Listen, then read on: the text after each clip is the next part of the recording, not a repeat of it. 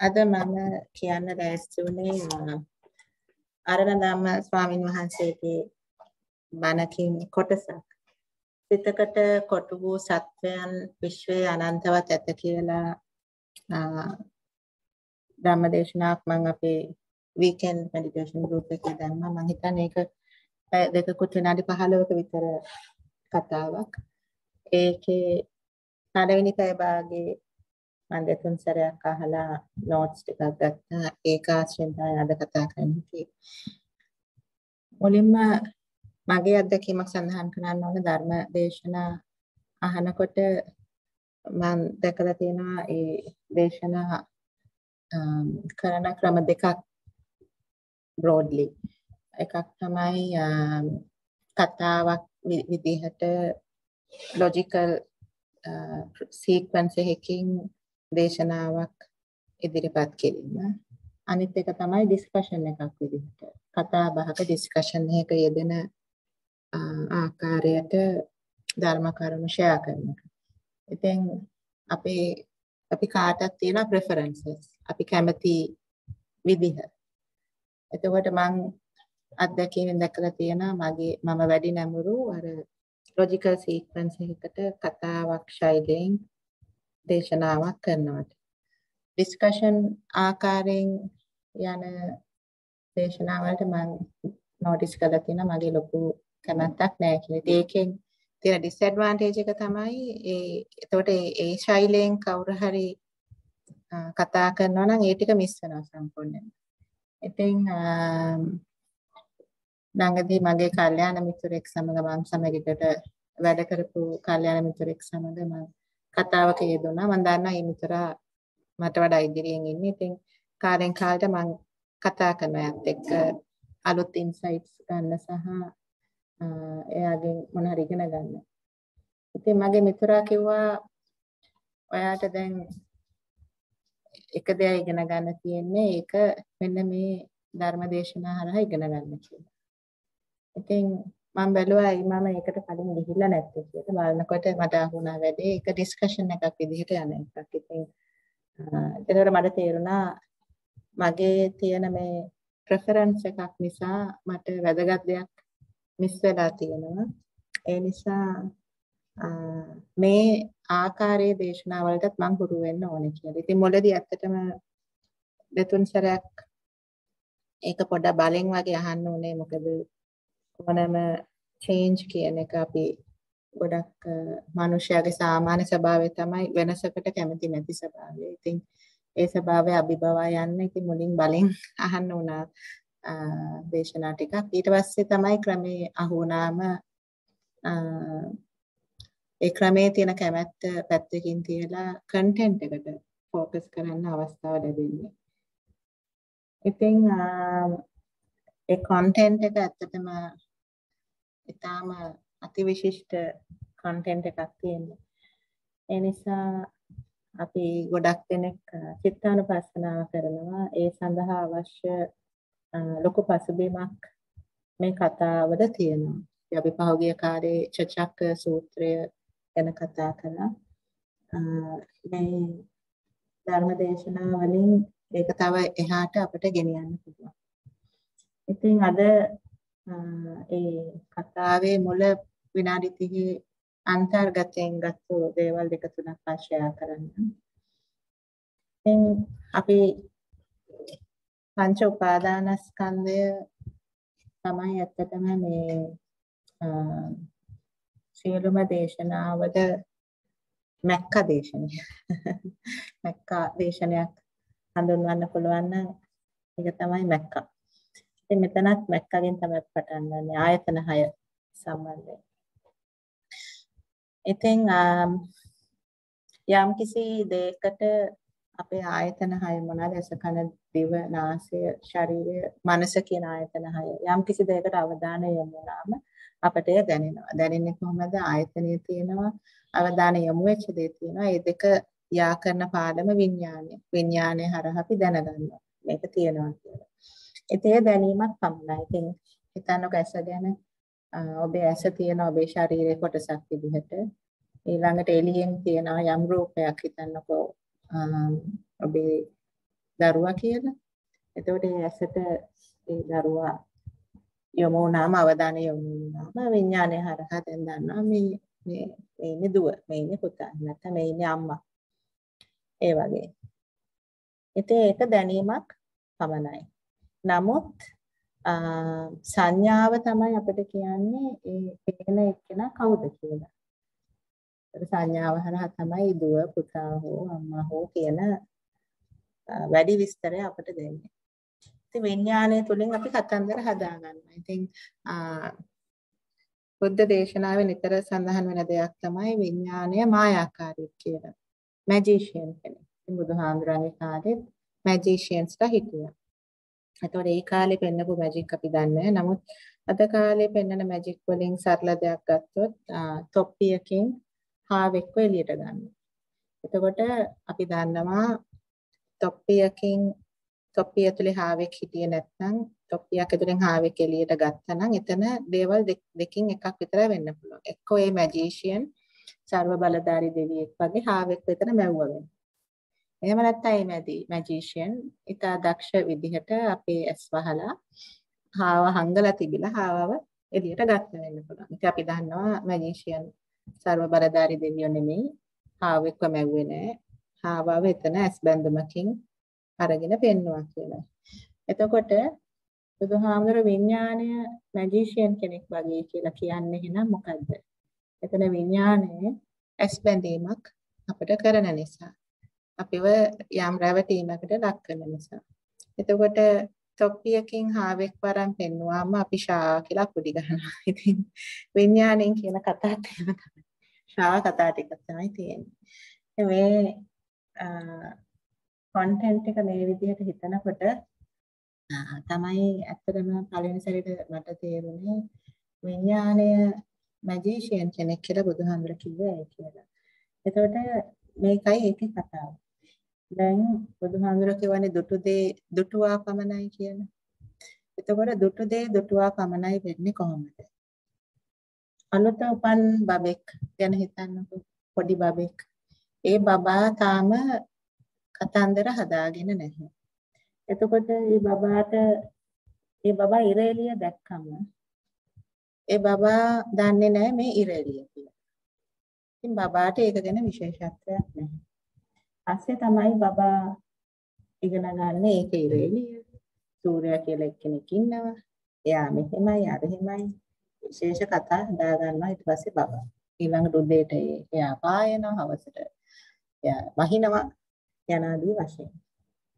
එතකොට මොළදී බබා ඒ කතාව දන්නේ නැති නිසා එයාට හිරු එළිය මොකද්ද? හිරු එළියක් පමණයි එළියක් පමණයි. ඒක නෑ. ඒක හරිද වැරදිද හොඳද නරකද මම කැමතිද අකමැතිද මොකුත් විශේෂත්වයක් නැහැ. එතකොට ඒකට මේ ස්වාමීන් වහන්සේ කියන ප්‍රභාෂ්වර සිතක් කියලා. ඒතර අපි ඔක්කොම අපේ ස්ටාර්ටින් පොයින්ට් එක ඒකයි. අපි දන්නේ නැහැ. ඉතින් විඥාණය රූපයක් සහ ඇස සම්බන්ධ කරාට අපි ඒ වෙලාවෙදි දන්නේ නැහැ. ඒ අපි දකින්නේ මොකද්ද කියලා. ඒ චූටි වයසේදී මොකද සංඥාව හරහා ලේබල් එකක් තමයි ඇවිල්ලා නැහැ අපිට. ඒතකොට දැන් අපි මේ වැඩිහිටි ජීවිතයේදී ඒ සියලුම ලේබල් සියලුම මැජික් හරහා හරි කතාව දැන් තෝట్లా බේරලා ගන්නවා. ඉතින් ඒකට තමයි අපිට මනුෂ්‍ය මොලයක් පිහිටලා තියෙන්නේ. මොකද මේ මොලේ කොටස් තුනක් තියෙනවා. අපි කලින් කතා කරලා තියෙනවානේ රෙප්ටයිල් නැත්නම් උරගයන්ට අයිති මොලයක් තියෙනවා. මැමල්ස්ලට ශීරපායින්ට අයිති මොලයක් තියෙනවා. ඊළඟ මනුෂ්‍යයා කියන සත්වයාට විතරක් අයිති මොලේ කොටසක් තියෙනවා ප්‍රීෆ්‍රොන්ටල් කෝටෙක්ස් කියලා. ඒකෙන් තමයි මේකේ මේ විඥානය කියන මැජික් කාර්යයේ මැජික් එක හඳුනා ගන්න පුළුවන් මොලේ තියෙන මෙතන. නැත්තම් ඒ මොලේ තිබුණ නැත්තම් අපිට මේ ධර්මය තේරුම් ගන්න බෑ. ඒකට ඕනම මිනිසෙක්ට ඒ ප්‍රීෆ්‍රොන්ටල් කෝටෙක්ස් එක තියෙනවා. ඒ නිසා තමයි ධර්මයේ තියෙන එක ලක්ෂණයක් තමයි ඇවරේජ් ඉන්ටෙලිජන්ස් එකක් තියෙන ඕනම කෙනෙක්ට මේ ධර්මය තේරුම් ගන්න පුළුවන් ඉතින් පොඩි බබෙක්ට ඇත්තටම ඉතින් දුපදේ දුටුවා පමණයි තමයි. ඉතින් දැන් මමත් කල්පනා කරා මට මේක ගොඩක්ම තේරුනේ මගේ බබාලා ඉපදිච්ච වෙලාවේ දැන් ඉපදිලා පැය ගාණක් යනකොට ඊට පස්සේ දැන් කිසිම හේතුවක් නැතුව බබා අඬන අවස්ථා තියෙනවනේ. ඒ කියන්නේ කෙනෙක් බීලා හේතුවක් හිතා ගන්න බෑ බබා අඬනවා. එතකොට බබා ළඟට ගියාම බබාට අම්මා පේනවා. දැන් කොහේද හරි මං ඉන්ටර්නෙට් එකේ දැක්කයි පේන්නේ black and white කියලා. කමන්නේ black and white හරි පේනවනේ. මං විලෝට ඒ දවස්වල යාළුවන්ට කියන්නේ මං කොහොමත් කළු නිසා ඉතින් කොහොමත් වෙනසක් නැහැ. කලර් එකෙන් පෙවුනත් ඒකම තමයි. black and white රූපේ කලර් රූපේ ඒ බබාට ලොකු වෙනසක් නැතුව ඇති. කොහොම හරි නමුත් බබා දන්නේ නැහැ මේ අම්මා කියන. ඉතින් දැන් බබා හම්බෙන්න ඉන්න කාලේ ඉතින් පොඩ්ඩක් රිසර්ච් කරලා බලනකොට හොයාගත්ත දේවල් තිබුණා. බබා ඇතුලේ ඉඳද්දී අම්මගේ heart beat එක හඳුනනවා කියලා. ඉතින් මට මතකයි ඒ බබා ඉපදිලා ඒ පළවෙනි දවසේ හේතුවක් නැතුව බබා අඬන වෙලාවට මං හිතුවා හොඳයි ඉතින් අර හැමෝම සහජයෙන් කරන්නේ මොකද්ද? අඬන බබාව අල්ලලා වඩා ගන්න වඩාගත්තම බබා naturally අම්මගේ පපුව ප්‍රදේශයට තියාගත්තම බබුවා නිකන් හිතලා බලන්න බබාගේ කන තියෙන හරියටම අම්මගේ heart එක උඩ. ඉතින් බබාට heart beat එක ඇහෙනවා ඒ වෙලාවට. ඇහුනම බබා දන්න එකම දේ heart beat එක. ඉතින් පුරුදු ශබ්දයක් ඇහුනම බබා calm down වෙනවා. ඉතින් ඒක කරලා බැලුවම ඉතින් ඒක හරි මැජිකල් එක්ස්පීරියන්ස් එකක්. ඇත්තම. heartbeat එක කියන්නේ හෘද ස්පන්දනය. ඉතින් ඒකේ හරිම සුවිශේෂී දෙයක් මම එතන එක්ස්පීරියන්ස් කරා. ඉතින් ඇත්තටම ඒ අඬන බබා ඉතින් calm down වෙනවා. ඒ ළඟට අරගෙන දැන් මේ බබාට පැය ගානයි තාම වයස. නමුත් ඇසේ විඥානය තාම සකස් වෙලා නැහැ සංඥාව නැති නිසා. නමුත් කනේ විඥානය සකස් වෙලා තියෙන හඳුනා ගැනීමක් තියෙන කන කියන එකට ශබ්දය වැටුනම හඳුනාගත්තා මේ හුරු පුරුදු ශබ්දයක් කියලා. ඉතින් මාස 9ක් ඕක අහලා අහලා දැන් අහලා එක්ක අහලා මේ පාසලක් නැත්නම් ඇහිම හරහා යම් කිසි සැනසීමක් තියෙන හුරු පුරුදු හඬක් නිසා. ඉතින් ඒක ඒක හරි මැජිකල් දෙයක් විදිහට මාත් ඒ කාලේ දැක්කේ. ඉතින් කොහොම හරි ඊට පස්සේ මොකද වෙන්නේ බබා ටක් ටක් ගාලා ඉගෙන ගන්නවා දේවල්. ඊට පස්සේ රූපය හඳුනා ගන්නවා ටික දවසකින් කටහඬ හඳුනා ගන්නවා. ඒ අනාදී වශයෙන් ඊළඟට ඉතින් අපිත් උදව් කරනනේ බබාට. අපි කතා කරනනේ බබාට එන්න බබා අම්මා ළඟට ඊළඟට මෙන්න අම්මා මෙන්න තාත්තා මෙන්න අයියා මෙන්න අක්කා මෙන්න ආච්චි මෙන්න සීයා බබාට සංඥාවල් ලිස්ට් එකක්ම දෙනවා අපි පළවෙනි සතියෙම. ඉතින් බබත් පටපට ගාලා ඉගෙන ගන්න අපි මනුෂ්‍ය ශක්තිය ඉගෙන ගන්න දක්ෂයිනේ. ඒ ඔන්න සංඥාවල් ටික දාගෙන දාගෙන යනවා බබත් අක් දාලා. ඊට පස්සේ මේ ඊට පස්සේ ඉතින් අපි ඉතිරි කතාවක් හදාගන්නේ එහෙමයි. ඉතින් එතකොට අපි සම්මතිය කියන එක හඳුනා ගන්නවා ඒ සංඥාවල් හරහා. දැන් අපි දැන් මේ වෙලාවේදී බලමු මොකද මෙතන තියෙන ප්‍රශ්නේ කියලා. මෙතන තියෙන ප්‍රශ්නේ මෙහෙමයි. දැන් මේ ධර්ම දේශනාව කරන වෙලාවේ මේක ඩිස්කෂන් එකක් විදිහට යන්නේ. ඉතින් මේ ස්වාමින් වහන්සේ එතන ජෙන්ට් කෙනෙක්ට මේ වගේ අහන දැන් මේ මහත්මයා මෙතන ඉන්නවනේ මාත් එක්ක මේ ආරන්නේ. දැන් ඔබේ නෝනා මේ වෙලාවේ කොහෙද? ඉතින් මහත්මයා කියන නෝනා මේ වෙලාවේ ගෙදර ඉන්නේ. දැන් නෝනා මේ වෙලාවේ ගෙදර මොනවද කරන්නේ? ඉතින් මහත්මයා කියන. ඉතින් මම දන්නේ නැහැ ඉතින් ගෙදර මොනා කරනවද? දැන් ඔබ මෙතන ඉඳගෙන නෝන ගැන හිතුවොත් ඔබට නෝන ගැන හිතන්න පුළුවන්ද? ඔව් නෝන ගැන හිතන සිතක් සකස් වෙනවා. එතකොට ඒ සකස් වෙන හිත ඇත්තද බොරුද කියලා අහනවායි ස්වාමීන් වහන්සේ. එතකොට මේ මහත්මයා කල්පනා කළා කියනවා ඉතින් මේ වෙලාවේ නෝනා ගෙදර ඇති බොහෝ දුරට මොකද කරන්න කියලා මම දන්නේ එතකොට මේ වෙලාවේ නෝනා කියලා සකස් වෙන හිත මගේ මතකයේ තියෙන තොරතුරු ආශ්‍රයෙන් සකස් වෙන හිතක් මිසක් ඇත්ත සිතක් නෙමෙයි. ඒ නිසා ඒක බොරුවක් එතන තියෙන්නේ. මතකයෙන් ආපු සකස් වීමක්. එතකොට හාමුදුර කියන හොඳයි. දැන් ඔබ ගෙදර යනවානේ දැන් මේ වැඩසටහනින් පස්සේ ගෙදර ගියාම ඒ ඇතුළට ගියාම දැන් ඔන්න නෝනා ෆේස් ටු ෆේස් හමු වෙනවා. නෝනා ෆේස් ටු ෆේස් හමු වුණාම නෝනා හඳුනා ගැනීම හරහා ඒ හඳුනාගත්තු සිත සකස් වෙනවා. දැන් එතකොට ඒ හිත ඇත්තද බොරුද?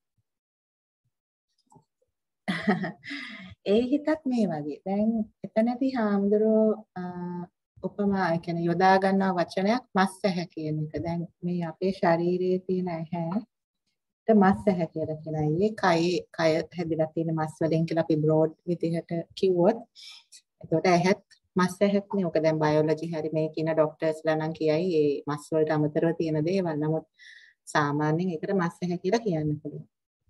දැන් මේ මස් ඇහැට මොනවද පේන්නේ? ඉතින් ඇත්තටම මේ ටෝක් එක අහලා මම දැන් O level science වලට හැගෙන කියලා දුන්නා. ඉතින් ඒක මේ 1900 බාර ගන්න මට කිව්වේ. දැන් මොනවත් මතක නැහැ. ඔයගලන්ට ඕන ඉන්ටර්නෙට් එකේ what does the eye look like කියලා Google කරාම ලස්සනට what happens with the eye how do I see ඔය ඕනම දෙයක් Google කරලා බැලුවම ඇහි ක්‍රියාවලිය හොඳට පේනවා. ඉතින් ඇහැට වැටෙන්නේ වෙන රූප වලින් රිෆ්ලෙක්ට් වෙලා එන කිරණ කඳක්. ඒතරේ කිරණ ටික රිෆ්ලෙක්ට් වෙලා ඇහැ ඇතුලේ තියෙන තැනක අප්සයිඩ් ඩවුන් මොකද්ද ප්‍රතිරූපයක් ලැබෙනවා ඒක ඕගලන්ගේ ඔප්ටිකල් නර්ව් එකෙන් මොළයට ගෙනියනවා. හොඳ වෙලාවට අනිත් පැත්ත හරවලා තමයි ගෙනියන්නේ. අප්සයිඩ් ඩවුන් එහෙම එක ඔප්ටිකල් නර්ව් එකෙන් මොළයට ගෙනියන්නේ හරි පැත්තට හරවලා. ඉතින් කොහොම හරි ඔබට පේන්නේ නෝනාව නෙමෙයි. ඔබට පේන්නේ රූපයක ලක්ෂණ. මොනවාද රූපේ රූපය? තමයි ආපෝ තේජෝ වායෝ පඨවි වලින් හැදිච්ච රූපයක් ඔබට පේන්නේ එහෙම නැත්නම් සෛල අපි අද මෛත්‍රී භාවනා කරේ සෛල වලට සෛල වලින් හැදිච්ච බන්ඩල් එකක්. එහෙම නැත්නම් ඇටම්ස් බන්ඩල් පරමාණු මල්ලක්. ඔබට පේන්නේ පරමාණු බන්ඩල් එකක්. එතකොට වෙන මිනිහෙක් දිහා බැලුවත් එතන ඉන්නේ පරමාණු බන්ඩල් එකක් පමණයි. එතකොට ඔබේ ඇසට පේන්නේ පරමාණු බන්ඩල් එකක්. එහෙම නැත්නම් ආපෝ තේජෝ වායු පඨවි වලින් හැදිච්ච ධාතු සමූහයක්. නමුත් මේ පේන්නේ නෝනා කියන නෝන සිත හැදෙන්නේ කොහොමද? මේ නෝන කියලා සිත හැදෙන්න නම් එතන ඒ නෝන කියන සංඥාව තියෙනවා.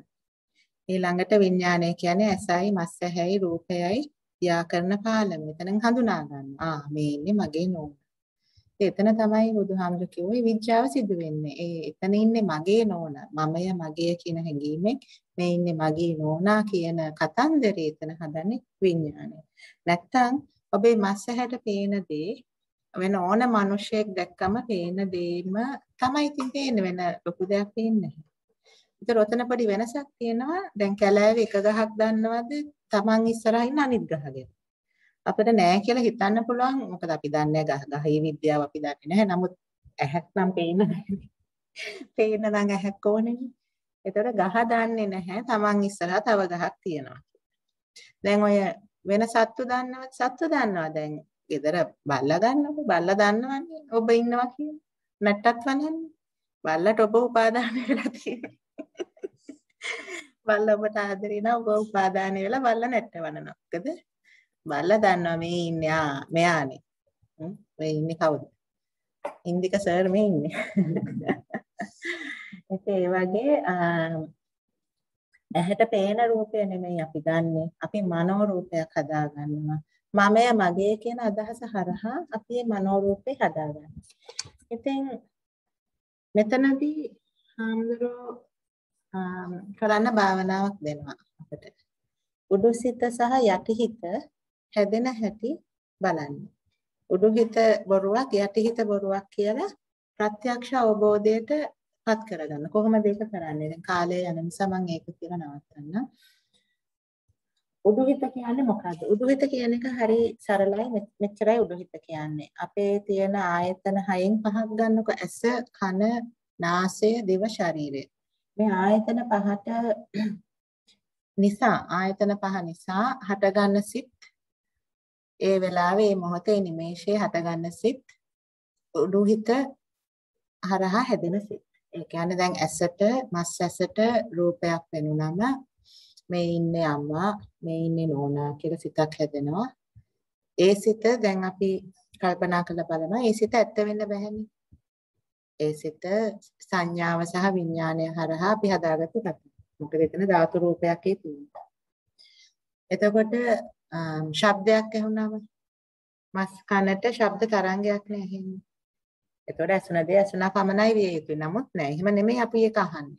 ඒ කටහඬ අපි සංඥාව හරහා මගේ අම්මගේ කටහඬ, මගේ බබාගේ කටහඬ, නෝනාගේ කටහඬ යනාදී වශයෙන් සංඥා විඥානේ හරහා එතනත් කතාවක් අපි හදාගන්නවා.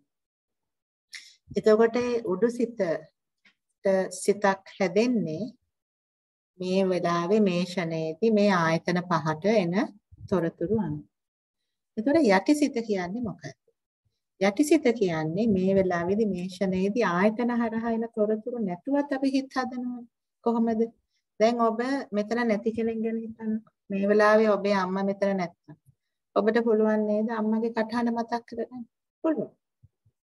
ඒක ඔබේ යටිහිතෙන් ඔබට හදලා දෙන්න සිතක්.